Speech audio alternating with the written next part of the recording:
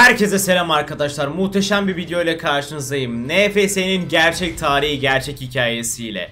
Oyuna direkt olarak karbonun geçtiği şehir Palmas ile başlıyoruz. Ve burada bize güzel güzel bakan kız Nikki, bizim sevgilimiz. Burada ise anahtarları bize yollayan Darius, bu oyundaki arkadaşımız. Bize Toyota Supra'sını veriyor. Kenji, Angie ve Wolf bu şehirdeki bosslar, bu şehirdeki yarışçılar. Onları yenip para dolu çantayı büyük para ödülüne sahip olan kişi biz olalım diye biz çok iyi bir yarışçı olduğumuz için arabasını veriyor ve burada da Nicky bize bakarak gülümseyerek elindeki para dolu çanta ile beraber yarışı başlatıyor. Herkes videoya hoş geldi. NFS'nin hikayesi asla bildiğiniz gibi bir hikaye değil. Çok farklı yerlere bağlanıyor. Bunu bugün göreceksiniz. Yarış sırasında polis EMP'leri sıkıyor. Yani manyetik bozucuları sıkıyor ve benim dışımda bütün araçları yakalıyorlar. Burada Kenji de, Angie de, Wolf de yakalanıyor. Bunlar da şehrin en önemli yarışçıları, şehrin bossları yani boşu boşuna yakalanmıyorlar. Büyük bir para ödülü var burada. Bunlar nasıl yakalanıyor? İşin içinde kimler var? Bunların hepsini ilerleyen dakikalarda anlatacağım. Ama öncelikle oyunun bağlanması gereken farklı noktalar var.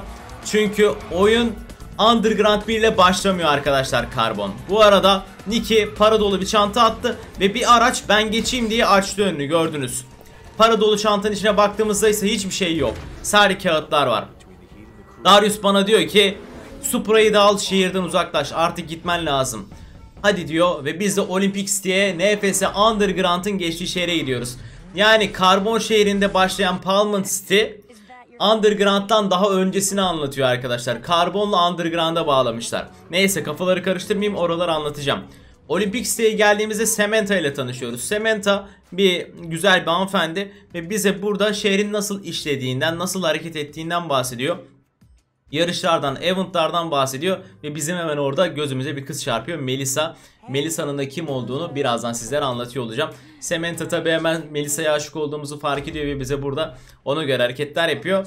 Ve Eddie ile tanışıyoruz arkadaşlar. Biliyorsunuz her NFS oyununun ya da her oyunun bir iyi bir de kötü karakterleri olur. Buradaki ana kötü karakterimiz de Eddie. Her NFS'de olduğu gibi başlangıçta yarışlar yaparak bir şekilde puanlara ulaşıp aracımızı geliştirip daha sonrasında da büyük boss'a kapışmak için ilerliyoruz. Buradaki büyük boss'umuz oyun sonu boss'umuz da Eddie. Başlangıçta işte bize biraz para verdi. Birkaç mücadele sırasında onun için çalıştık gibi bir şeyler oldu. Ve Eddie'yi yendiğimizde son boss olarak Eddie'yi yendiğimizde Nissan Skyline GTR alıyoruz.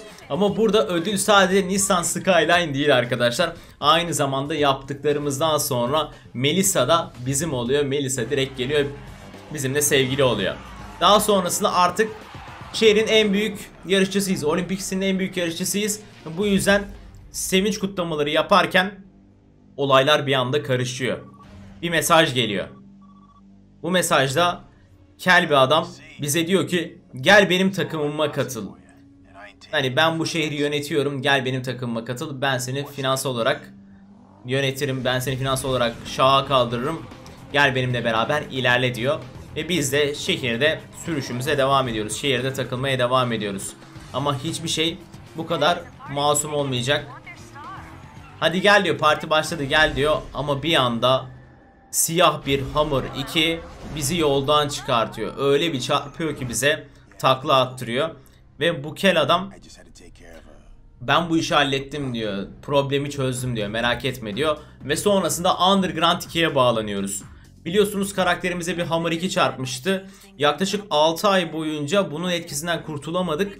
Ve 6 aylık bu süreçte arkadaşlar farklı bir başlangıç yapmak istiyoruz. Bu yüzden de Bayview'a gidiyoruz. Orada Samantha'nın arkadaşı Rachel bizi karşılayacak. Havaalanından muhteşem aracıyla alıp gelecek. Hem psikolojik olarak biraz kendimizi bulmamız için hem de yeni başlangıçlar yapmamız için Underground 2'ye gitmemiz önemli. Bayview'a geldik. Rachel'la buluşuyoruz burada.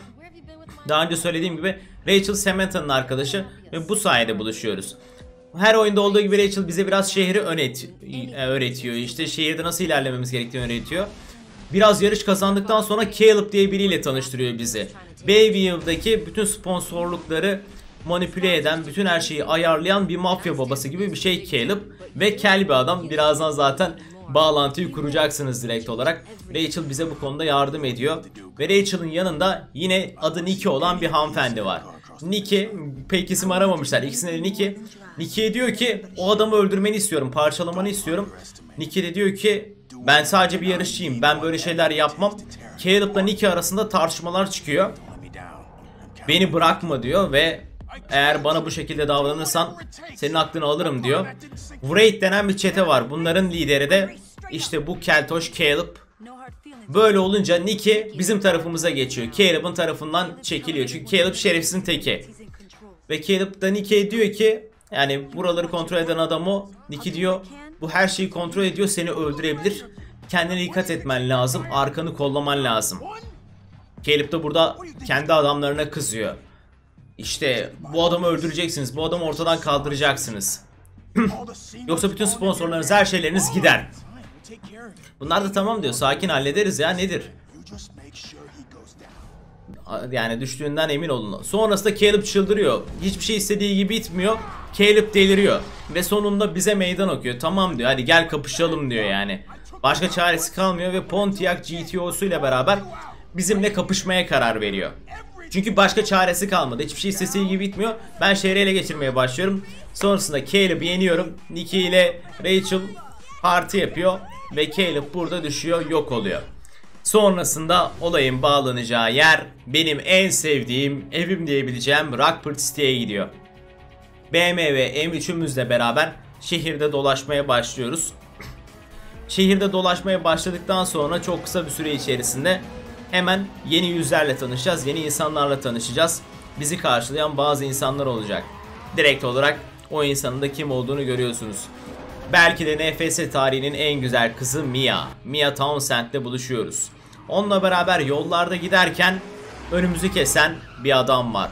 Sergeant Cross yani Teğmen Cross. Bu şehirdeki araba yarışlarının engellenmesini sağlamaya çalışan, şehrinde araba yarışı istemeyen bir adam. Yanında da yardımcısı bir hanımefendi var. Bize burada RC'ni çekiyor Sergeant Cross. Yarışmak için yanlış yolları seçtin diyor. Ve arabamın çok güzel olduğundan bahsediyor tabi. Aracın özelliklerinden bahsediyor. Ve arkada da kızımız bize arsik yapıyor. Diyor ki kaputun altına bakmak isterim diyor. Yani yanlış şeyler koyduğumuz için. Ne olacağından bahsedeyim. Arabanı alacağız. Ve sokaklar için hani uygun hale getireceğiz. Sokaklar için yasal hale getireceğiz bunları diyor. Sokak yarışları olsun istemiyorlar ve yarış günlerin bitti diyor burada. Rockport'ta sokak yarışları bitti diye Sergeant Cross bana arsik çekiyor burada. Ama sadece saniyeler sonra olacağı görün. Beni arabadan çıkartmak için artistik çekerlerken bir anda ihbar geliyor. Yarış var Rockport City'de. Tabi Sergeant Cross ve yardımcısı burada kuduruyorlar. Ve bana uyuz oluyor daha Teğmen Cross en başında. Next time Gelecek sefere bu kadar şanslı olmayacaksın diyor. Ve anahtarını çıkartıyor arka cebinden. BMW M3 GTR'ımı canım yanıyor. BMW M3 GTR'ımı çiziyor abi. Parçalıyor resmen. Ve devam ediyor. Videoyu burada durdurup arkadaşlar beğeni ya da yorum atarsanız çok sevinirim. Yorumlarda güzel olmuş. Eğer beğendiyseniz belirtirseniz bana destek olmuş olursunuz. Bu dakikadan sonra şehirde artık biraz yarış arıyoruz. Şehirde biraz takılıyoruz.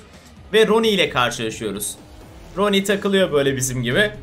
Ve ilk yarışımız neredeyse Ronnie ile diyebilirim. Ronnie'yi yendikten sonra burada Blacklist denen muhabbeti öğreniyoruz. Rockport'un en yetenekli, en kalifiye insanların, en kalifiye yarışçılarının yarıştığı yer. Blacklist. Ve Ronnie'yi yendikten sonra burada baş kötü Razor'la karşılaşıyoruz arkadaşlar. Razor'ın özelliği şu. Razor'la biz tanıştığımızda Razor ya da Razor diyeceğim video boyu. Burada da Mia'yı görüyoruz.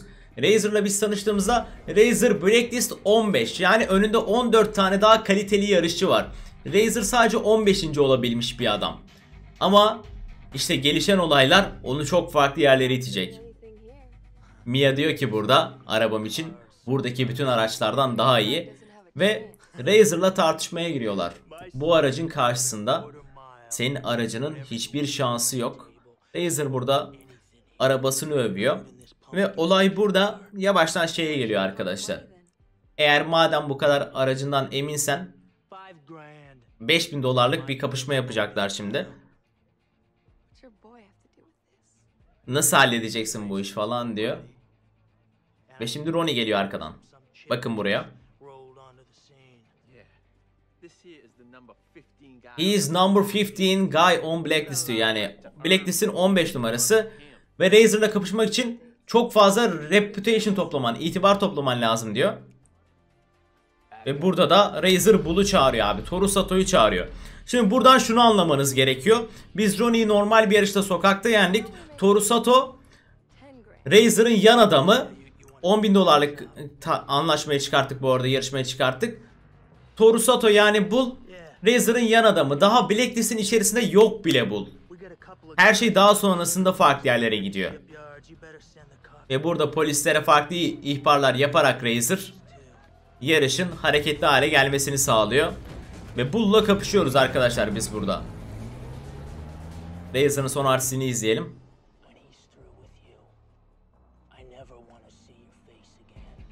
Bir daha bu yüzü asla görmek istemiyorum falan çekti. Bull'u da yendik ve buraya çok dikkat edin.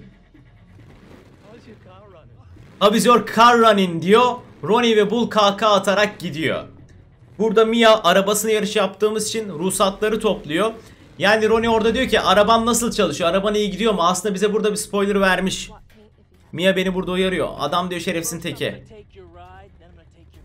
Önce arabanı alacağım sonra da kızını alacağım diyerek bana RC'yi çekiyor. Ve yarış başladıktan sonra aracımızda biliyorsunuz ki bir huge oil muhabbeti olacak. Yani motorumuzdan ağır bir yağ akıntısı olacak. Ve bu sebepten de araç ne kadar iyi gitmeye çalışırsak, ne kadar iyi oynamaya çalışırsak çalışalım. Burada da Mia bizi uyarıyor. Yarışı çok hızlı bitirmelisin diye ama bitirme imkanımız yok. Çünkü bizden kaynaklanan bir durum değil. Her türlü burada zaten aracımız patlıyor. Ve sonrasında Razer yarışı kazanıyor. Aracımız da onun eline geçiyor. BMW M3 GTR şehrin en hızlı arabası artık Razer'ın elinde. Yani Razer'ın Blacklist 1'e çıkabilmesinin sebebi, Blacklist'te en iyi olabilmesinin sebebi benim aracımı alması. Tabi burada şerefsiz gülüşlerini atıyor yani. Bak benim yüzümden ama yapabileceğim bir şey yok diye. Hepsi dalga geçiyor. Hepsi her şeyin farkında. Zaten daha yarışın başında bize söylemişlerdi. O kız artık benim ve senin hiçbir şekilde süremediğin kadar iyi süreceğim ona. Ona iyi bineceğim diyor. Mia üzgün. Razer'dan hoşlanmıyor. Kazananlar tarafı burada falan çekiyor ve polisler geliyor. Herkesin arabası var. Ama benim neyim yok? Arabam yok. Polisler geliyor. Ve Razer diyor ki burada Otobüs durağı arka tarafta istersen otobüs durağına gidebilirsin. Benim gidecek hiçbir yerim yok. Sergeant Cross, Teğmen Cross ve arkadaşı geldi. Yardımcısı geldi. Bizi yakaladılar. Yere çarptılar. Nerede şimdi araban diyor o güzel araban. Artık kimsenin umurunda değil. Ve kelepçeleniyoruz. Hapse düşüyoruz arkadaşlar burada. Karakterimiz hapse düşüyor. Aradan belli bir zaman geçiyor. Artık hapishaneden çıkma vakti geliyor. Ve bizi hapishaneden çıkartan da Mia'dan başkası değil. Burada da ekstra bir olay var. Düşünürseniz hani madem yarış arabaları yasak nasıl yarış arabasıyla geliyor diye düşünebilirsiniz. Ama hikayenin devamında zaten öğreniyoruz ki Mia gizli bir polis. Bunu da dakikalar sonra öğreneceğiz. Mia burada bize yardım etmeye karar veriyor. Şehirde nasıl hayatta worse. İşler kötüleşti. Artık number one oldu diyor Blacklist'te. Ve arkadaşları Ronnie ile Bull da ilk ikiyi paylaşıyor onunla beraber. 2 ve 3'ü paylaşıyorlar. Plakayı falan değiştirmiş. Blacklist mantığından bahsediyor. NFS Most Wanted'da bol bol yarış yapıp bol bol bounty yani ödül avcılığı yapıp polislere karşı mücadele edip puan kasarsınız, yarış kasarsınız ve sonrasında Blacklist'te yarışmaya, kapışmaya hak kazanırsınız. Böyle böyle level atlayıp en son arabayı yenip muhteşem uçuşu yapıp oyunu bitirirsiniz. NFS Most Wanted'da en iyi NFS oyununda bana göre. Siz de yazın yorumlara en iyi NFS oyununuzu. Burada benim anlattıklarımı anlatıyor. En son Razer'ı yeniyoruz arkadaşlar burada. Son yarışta Razer'ı yeniyoruz. Ve kari, karakterimize Most Wanted'da ilk kez bu şekilde görüyoruz. Eğer bunu almak istiyorsan zorla almak zorundasın diyor. Ama Mia burada Razer ağlama artık yeter amına koyayım falan diyor. Pardon kusur küfür ettiğim için gaza geldim. Yeter diyor. Bitmez ben söyleyene kadar bitmez diyor. Ama Mia burada Razer yere çarpıp polis kimliğini gösteriyor arkadaşlar. Açıyor ben polisim diyor. Açılın ben polisim diyor. Ve baskın başlıyor helikopterlerle beraber. Diğer polisler geliyor ama Mia bizi satmıyor. Aracımızı veriyor ve biz araçla beraber gitmeye başlarken Razer'ı yakalıyorlar ve burada Sergeant Cross geliyor. Mia'ya soruyor, Where is the other guy? He's gone. He got away. Diyormuş. Bana şehrin en çok aranan yarışçısının kaçtığını mı söylüyorsun diyor. Peki diğerleri ne oldu diyor. Onlar zaten bitti artık. Blacklist diye bir şey kalmadı diyor. Ve Sergeant Cross zaten bize en başında sinirliydi. Artık daha da sinirli. Bizi sevmiyor ve herkesi peşimizden yolluyor. Yaklaşık 5-6 dakikalık bir kaçış süreci oluyor, kovalamacı oluyor. O 5-6 dakikalık kaçış sürecinden sonra Mia bizi arıyor. Diyor ki şehirde herkes seni arıyor. Güvenli ev artık kalmadı. Herkes senin yerini biliyor. Bu yüzden de o yapım aşamasında olan köprüyü kullanıp kaçmak zorundasın diyor. Ve biz köprüden uçtuktan sonra tekrardan karbon şehrine geri dönüyoruz. Çünkü o köprüden uçtuğumuz yer karbon şehrine bağlanıyor. Bakın buralar daha yapım aşamasında. Ve yapım aşamasında olduğu için bir tane tıra çarpıyoruz ve keresteler arabamızın üstüne düşüyor. Ve bizi biri yakalıyor arkadaşlar burada Palm City'de. Bu da Sergeant Cross'tan başkası değil. Teğmen Cross'tan başkası değil. Bu adam artık teğmen değil. Artık polisliği bırakmış ve ödül avcılığına başlamış. Ve bizi yakalıyor burada. Ama bizi kurtarmaya gelen eskilerden tanıdığımız bir yüz var. Darius. Oyunun başında göstermiştik. Bize Toyota Supra'sını vermişti. Şimdi de burada Cross'a diyor ki sen benim şehrime gelip nasıl böyle bir şey yapmaya çalışırsın benden izin almadan falan. Ve Cross'a diyor ki bu adam bu şehirden değil farklı bir şehirden geldi. Uzun zaman oldu çocuk diyor Darius burada bana benle konuşup. Ve burada ödülünü öğreniyor. 150 bin dolarlık ödül varmış üzerimizde. Darius diyor ki bu adama parasını ödeyin. Yani benim kontrolümde artık diyor. Biz böylece Darius'a borçlanmış oluyoruz arkadaşlar. Ve arkadan gelen araç. Eski sevgilimiz, aşık olduğumuz kız Nikki tekrar bizimle. Nikki bizden nefret ediyor. Nikki bizden neden nefret ediyor? Çünkü yarışa hile karıştırdığımızı, çünkü şehirden kaçıp onu aramadığımızı, sormadığımızı düşünüyor. Artık onu sevmediğimizi ve ona ihanet ettiğimizi düşünüyor. O yüzden Nikki bize sinirli. Cross burada basıp gidiyor. Sen gittiğinden beri neler olduğunu bilmiyorsun. Ha işte sen bana ciddi para kazandırabilirsin falan diyor. Ve Nicki'ye burada diyor ki işte Tugay diyelim. Tugay ile beraber tekrar çalışacaksın ve Tugay'a şehirde yollar nasıl artık gidiyor, bu şekilde nasıl ilerliyor onu öğreteceksin diyor. Tekrardan Darius'a çalışıyoruz. Darius için yarışlar yapıyoruz gibi düşüneceksiniz en azından başlangıç için. Ama Nicky bizden nefret ediyor. Onu unutmayın. Başlangıç için böyle. Tabi hikaye ilerledikçe olayların farklı şekilde ilerlediğinde hepimiz öğreniyoruz. Burada Yumi var arkadaşlar. Bu bir wingman. Bize destekçi. O polislerin araçları yakaladığı gece oradaymış. Her wingman bulduğumuzda bize hikayeyi anlatıyor. İhbar almışlar ve o telsizden izliyormuş. Yumi araçlara bakarken, araçların yarışını izlerken polisler her şeyden haberdardı diyor burada. Sadece seninkini vurmadılar diyor.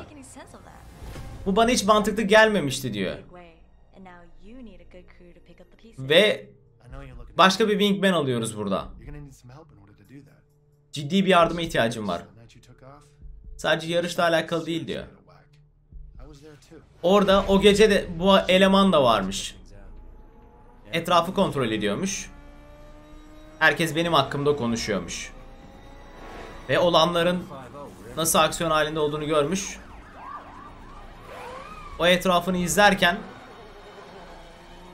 Benim aracımı görüyorsunuz burada Toyota Supra'mı.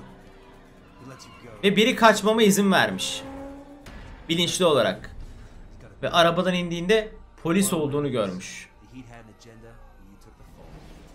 Yani bilinçli olarak bizi salmışlar. Bir şeylerin gerçekleşeceğini bir milyon öteden fark too. Ve burada da Nicky arabamıza biniyor bizim. Artık oyun ilerliyor. Oyunda sonlara doğru geliyoruz. Ve Nicky bir şeyler döndüğünün farkında artık. Tekrardan olayın yaşandığı yere gidiyoruz burada. Nicky ile bir canlandırma, bir flashback yapıyoruz. Ve Nicky olanları hatırlamaya çalışıyor burada. Hatırlıyorum. Tam olarak burada duruyordum. Nicky para dolu çantayla orada duruyor. Arkasında bekleyen biri vardı. Gördünüz onu.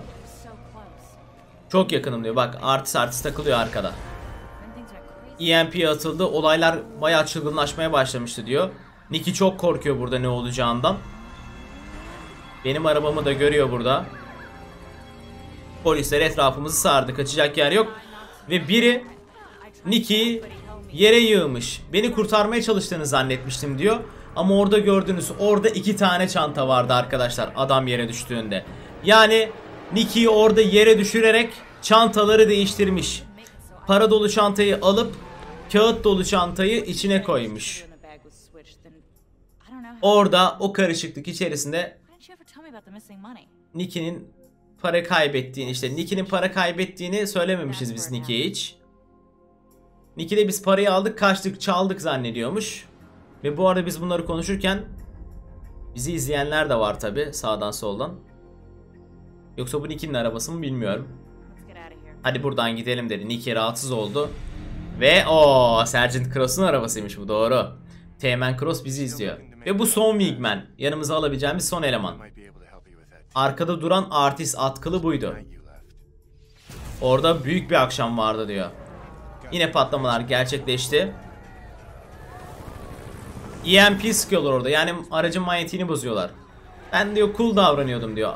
Rahat takılıyordum orada diyor. Herkes yakalandı. Nicky yere düşürüldü diyor. Ve adamın çantaları değiştirdiğini görmüş. Adamın yüzünü de görmese de hani tipini gördü hafiften. Size yardım edebilirim diyor. Ve bu da bize yardım ediyor. Daha sonrasında Darius'la konuşuyoruz arkadaşlar. Darius burada diyor ki bütün herkes yendikten sonra şehri sana bırakacağımı mı zannettin diyor. Bütün şehir benim diyor. Ne zannettin lan sen diyor. Ve burada Sergeant Cross'la Teğmen Cross'la beraber bizim yanımıza geliyor.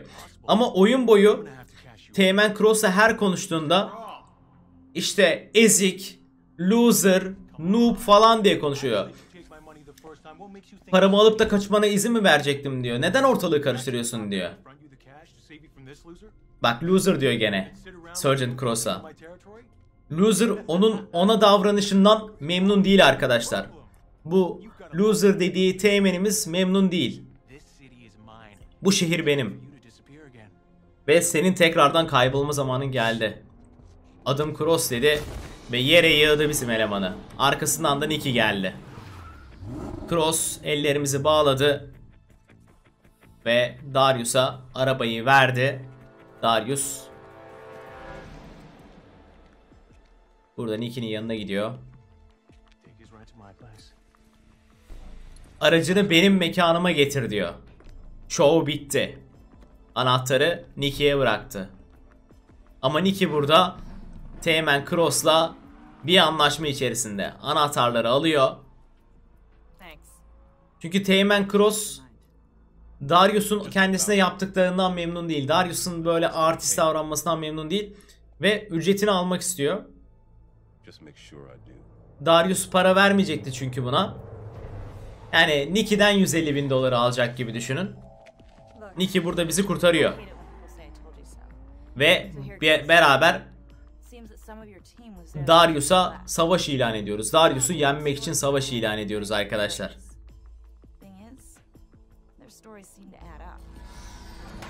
Ve bundan sonra hikayenin tamamını oturttum diyor. Birileri senin kaçmana izin verdi. Birileri de çantayı değiştirdi. Burada Darius'u görüyoruz abi. Bunları yapan en başından beri Darius. Bizi Nicky ile ayıran, bizi Underground şehrine gönderen Darius'muş. Ve şimdi Darius'tan intikam alma vakti. Bir yarış ayarlayacağım diyor. Hadi gidelim buradan diyor. Yapacak çok işimiz var ve burada Darius'u yeniyoruz son yarışta. Anahtarlar sende diyor. Darius bize çok sinirli. Er ya da geç seni yakalayacağım diyor.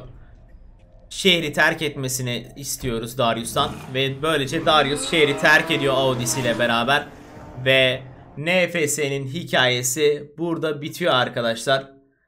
NFS'nin bütün hikayesini sizlere anlatmaya çalıştım. Elimden geldiğince editledim. Yabancı kaynaklardan bulduğum şeyleri birleştirdim. Var olan şeyleri kestim gereksizleri ve sizlere Türkçeleştirip paylaşmaya çalıştım. Kullandığım kaynaklar açıklama kısmında da var. Videoyu şu ana kadar izleyip beğendiyseniz yorum atarsanız çok sevinirim. Ben bilmiyormuşum hikayeyi çoğunuzun da bilmediğini düşünüyorum. Öncelikle NFS Karbon'un Palmın şehrinden başlayıp Underground'a bağlandığını falan bilmiyordum mesela. Bunların hepsini beraber öğrenmiş olduk. Umarım videoyu beğenmişsinizdir. Kendinize iyi bakın. Görüşmek üzere. Bay bay.